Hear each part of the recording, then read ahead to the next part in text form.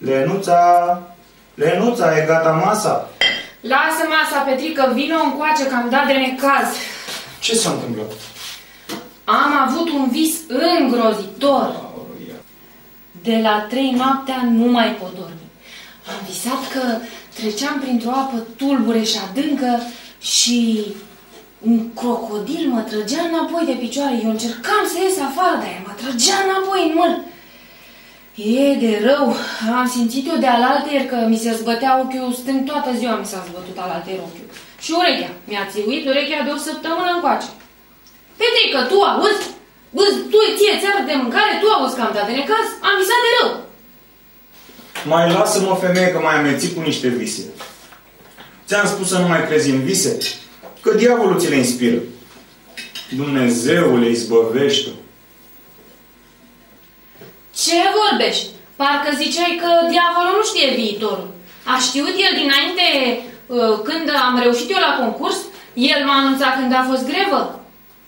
Ăsta e un dar de la Dumnezeu, Petrică, să știi și tu, să fie anunțat dinainte. Mă iubește Dumnezeu pe mine. Ai văzut în film cum l-a anunțat faraon pe faraon? L-a anunțat Dumnezeu prin două vise și a putut salva Egiptul. Ce dar avea Iosif de a tâlcui visele.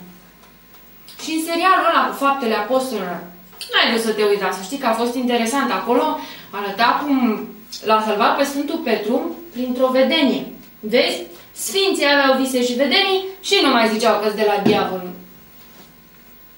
Și tu ai fi ajuns vreo sfântă. Trebuie să scap România de...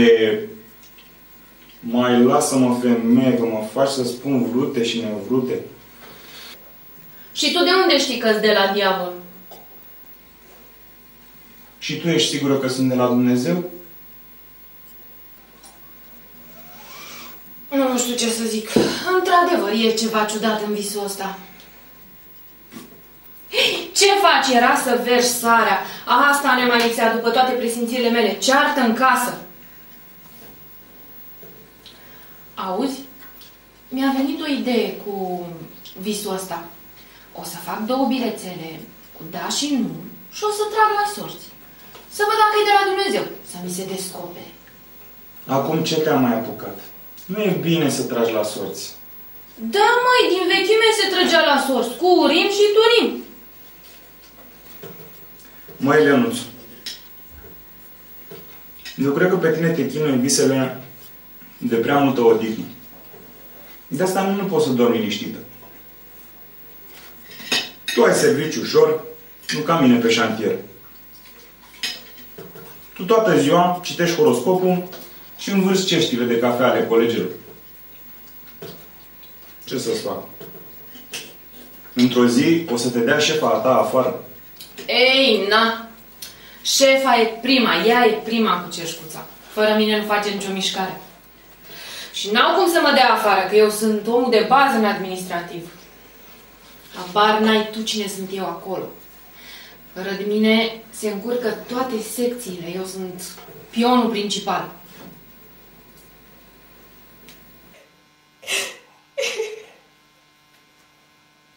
Renuța! Ah, aici erai. Credeam că te găsesc la bucătărie. Dar ce s-a întâmplat? Nimic. Cum nimic? Ești supărat. Am Ba da, se vede că ai plâns. o nenorocire. Ce nenorocire? Am plecat dimineața cu stângul de acasă și mi-am mai întors și din drum că mi-am uitat pormoneul pe masă. Lasă asta.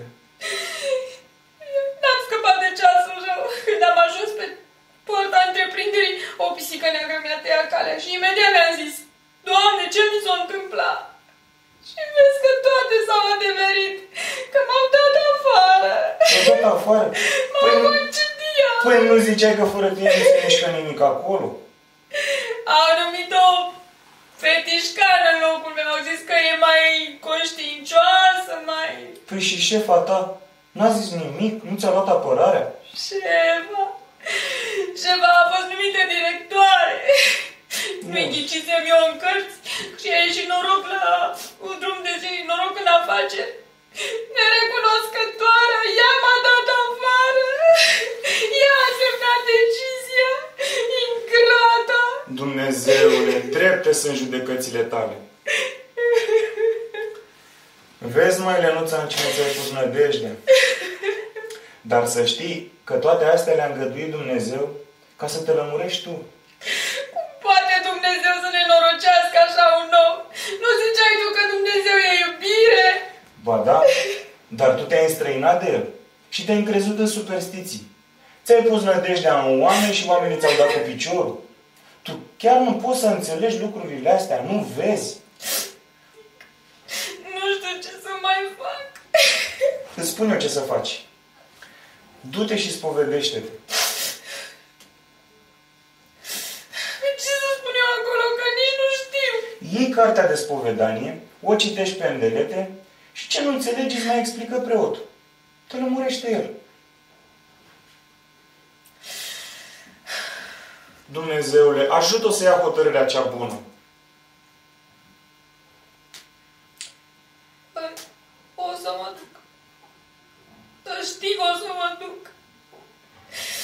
Dumnezeule, iartă-mă și ajută-mă să-mi întreb viața.